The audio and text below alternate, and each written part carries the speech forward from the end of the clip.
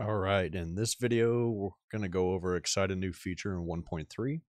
There is now a Blender or a plasticity to Blender bridge, which means that anything that's in plasticity will automatically be transferred over to Blender. So we've got my model set up here. It's similar to as I had it set up in previous videos, except I uh, went ahead and went ahead and uh, a couple things together just to make it far less uh, stuff to deal with over in Blender. So wanted to show you how I like to use it right now. This is just a quick overview. So now uh, when you open up plasticity, I think by default, uh, it will be um, it will be disabled. So you have to go to your preferences, hit server, hit enabled. Okay should be good to go. And then once you're in Blender, which we'll hop over, this is just Blender 3.5. I haven't updated recently, so this is just a, a scene I already pre-put together here just to make this quick and easy.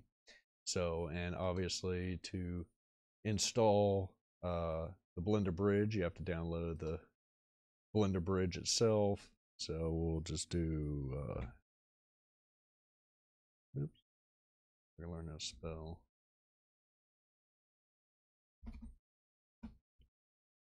There it is, the plasticity here.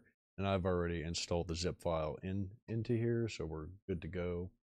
So all I have to do inside um, Blender is tap on the N key, and you can get this little panel off to the side. I already have plasticity selected. All I have to do is hit connect, and then you can do a, a live link, but I'm not really going to go over that today. All I want to do right now is just get my stuff from Plasticity over to Blender. And all I have to do is click only visible, and it's only visible, whatever is visible inside Plasticity is going to be sent to Blender. So go ahead and hit refresh. There we go. Very quick, super quick. So we can get out the camera view there come in here and take a quick look and see what it did. Uh, let's turn on wireframe. You can see it triangulated things uh, very well. And it uh, looks nice and smooth inside here. It's great.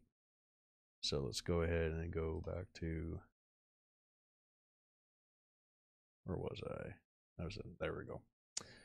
And let's see, what do I want to show here? So you can actually take these bits and pieces over here and you can um, refacet them, uh, make them higher, lower, whatever you need. So you can actually, uh, this would be a good setup if you want to unwrap your UVs inside Blender.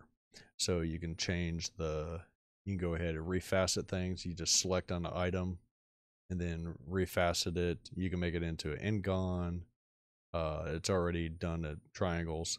Uh, there's also some utilities that another user uh, put in here that you can mark UV seams, and uh, it's it's real powerful. But for today, I'm just kind of showing you uh, just what I've been using it for, which is just to make a quick render. So I've already got some materials here. So let's go shading.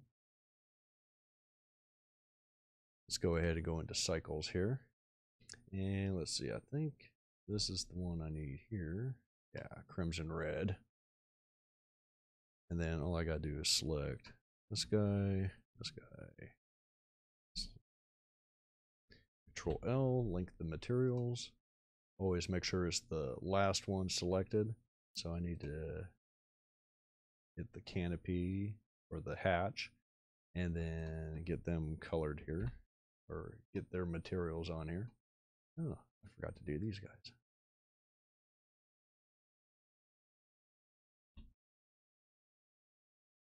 All right, so I got that basically set up there.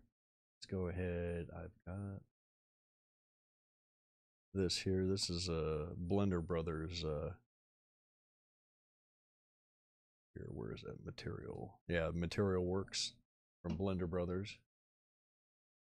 Very cool setup they got definitely came in handy for the solar cells. I'll show you. I got one here. Came in perfectly.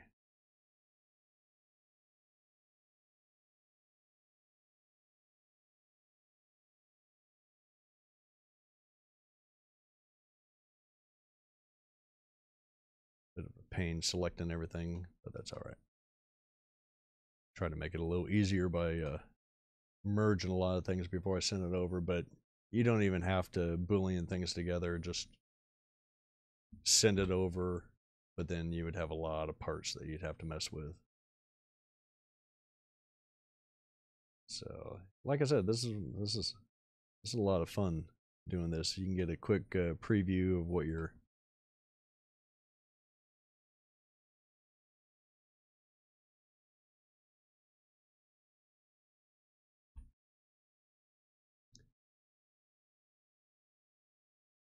see, let's go ahead and get that canopy. Let's just go over to Material Works.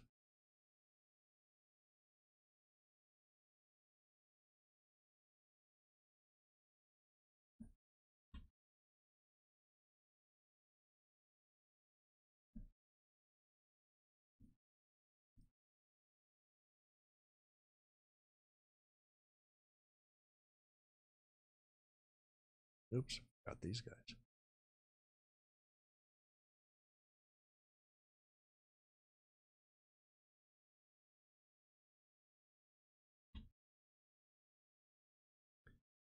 Here. Cool. Now, if I wanted, all I have to do, go back to layout.